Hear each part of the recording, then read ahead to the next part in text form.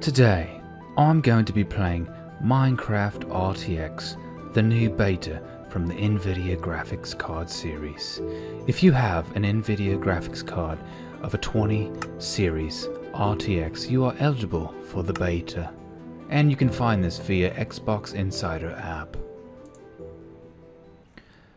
Today for the demo, I'm going to be playing on Crystal Palace RTX, a free template made on the Marketplace store for RTX cards.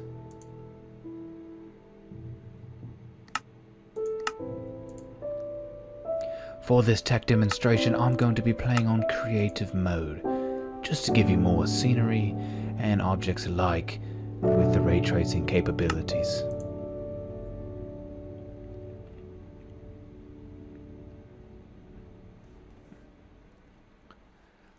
As you can see, I have spawned in to the underside of a boat. And at the top corner, you can see we're running at a crisp 66 frames per second at 1440p.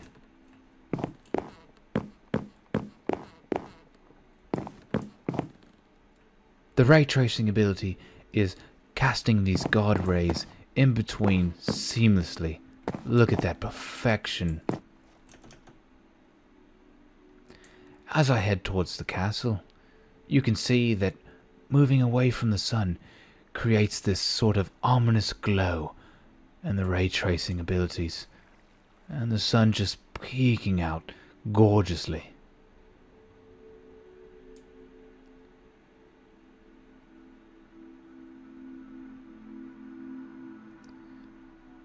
Now there is some impact to performance when rendering large objects like this. The settings have been turned down for the demonstration. To activate more settings to bring up the graphic fidelities, go to Advanced Video. And we can turn our ray tracing render distance from 8 chunks to 12 chunks. Going further though will impact performance and your frames. As you can see now, we can see quite clearly much more range and depth of field than we could before.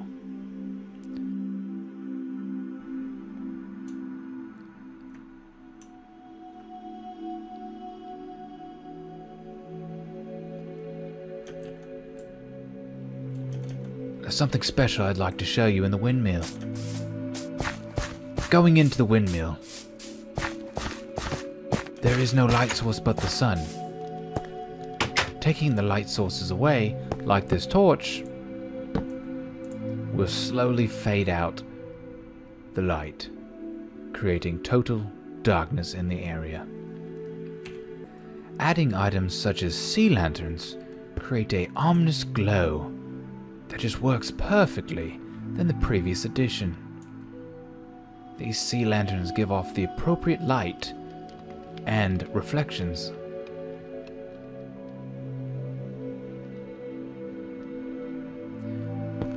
Putting up another sea lantern will create more light in the space provided. Also, the light is different. Stepping further into the windmill, we'll find ominous more light sources. Various places reflecting perfect, perfect light and saturation Let's venture up, shall we?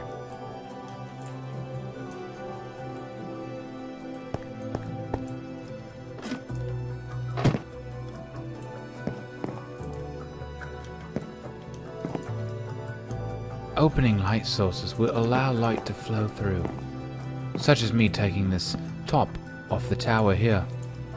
Will allow light to pour through ever so seamlessly and look as the properties of light reflect the individual pixels on a block.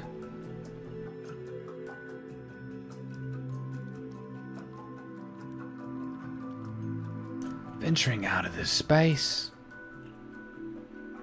you'll see the lovely world ahead of you.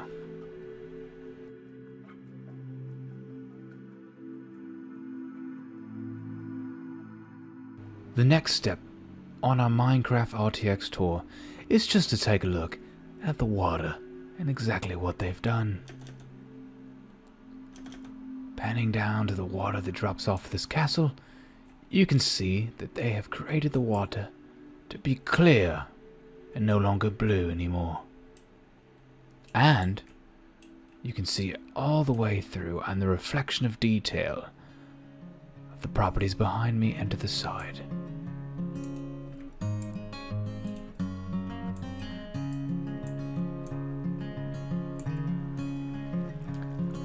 This appropriate reflection is amazing with the new water quality physics they have implemented into this game.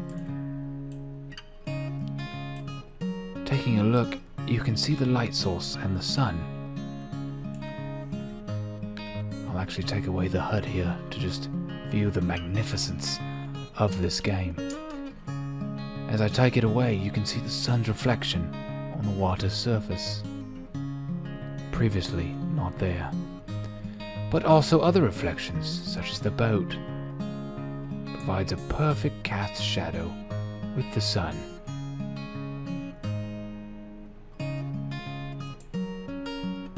And the shadow will continue to be larger as the sun falls down on the other side.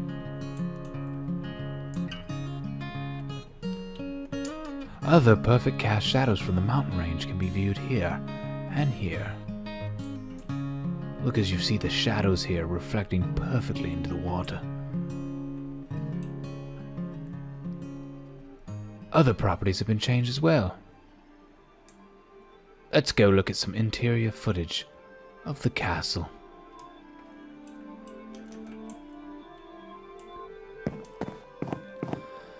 The castle has been created very magnificently. And look at the light reflecting right down here onto the floor. Perfect and seamless. As you can see, they're using a sea lantern to create that kind of glow effect, which cascades into the light we see. As we tear apart these glass panes, you will see the light below changing. The more we tear apart, the more the light goes away, as you've seen right there. And finally, the light has been removed. And if we want to create our own light reflections and light source, we can do this by simply placing other glass blocks of different colors. In this example, I'm going to be using the green block. Placing the green here will reflect a green property onto the floor below. As you can see, the green light source is reflected here, also appropriate to the sun's level.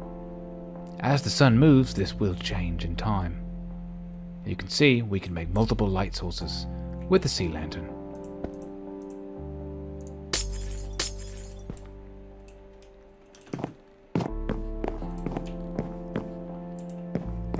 As you can see, I'm currently holding the glass block, which is showing appropriate reflection of the sun going through the block, and green is cascaded down. Simply removing the light, however, there will be no more properties shown. Only when the sun is visible, you're going to see the reflection of the green glass block on the floor.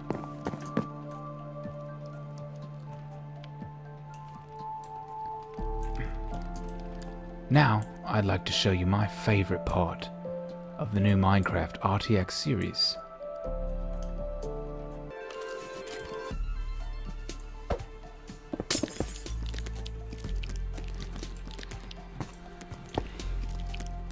Digging through the castle, I'll bring you to my next favorite part.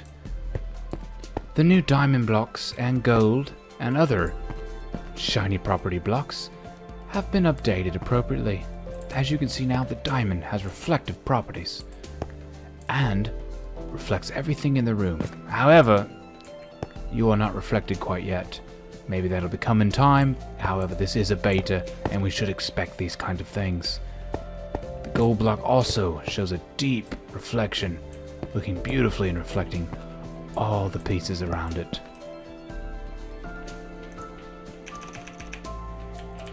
Iron, however, has also seen this kind of upgrade, and has now become more reflective of reflective properties. Another light source demonstration is peeling back this with a sea lantern will reflect the light appropriately, and closing it will allow the light to dissipate. This is Minecraft RTX, and it's beautiful. Now, nighttime has set upon us. It's time to take a look at Minecraft at night. And look exactly what they've done in the RTX mode of night to really sell the picture away. As you can see, the moon is still reflected and showing those properties. As nighttime falls, we'll be looking at exactly the RTX capabilities at nighttime. As you can see the ominous glow from glowstone lamps here, reflecting light proportionately.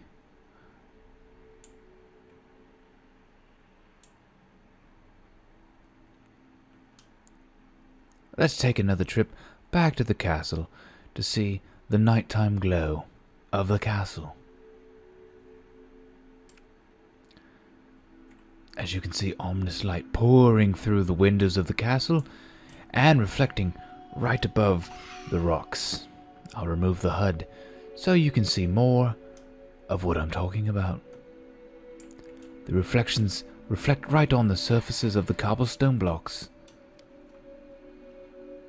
providing perfect balance. As you can see, the wood panels are also reflected with the glowstone. Moving to other glowstone sources, as you can see, the light is proportionally reflected upon all surfaces, creating a lovely, lovely cast of light.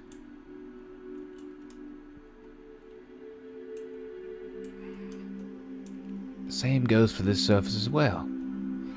As you can see the light sources are reflected right on top of the blocks here and the blocks here, reflecting perfect light qualities and ray tracing abilities.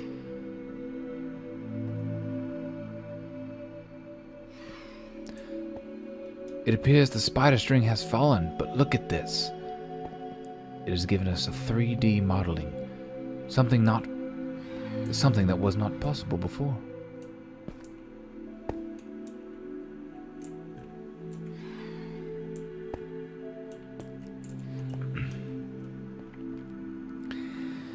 Here in the Minecraft RTXs, we see the light reflect perfectly right onto the surface and onto this creeper. Whenever the creeper is pushed into the shadows, and he will cast his own shadow, he will be taken by the shadows. As you can see, he is now in the shadow, and now lit in proportionally when he arises out of the shadow. Let's go ahead and make some light sources at night.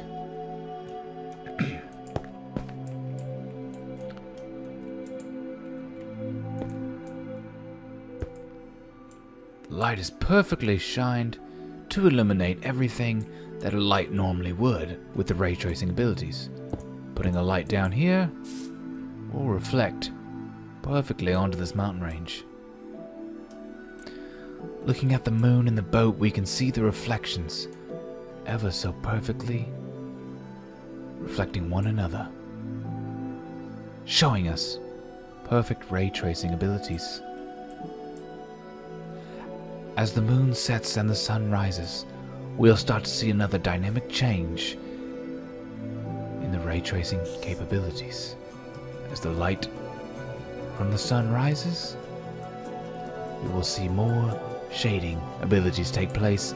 As you see,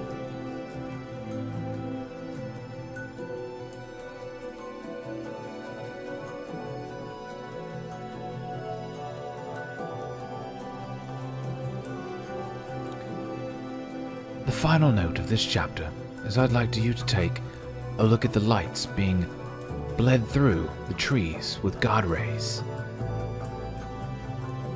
As you can see, the holes produce rays of light coming through, through the sun. This is perfect. The blinding, blistering light of the sun reflects so perfectly.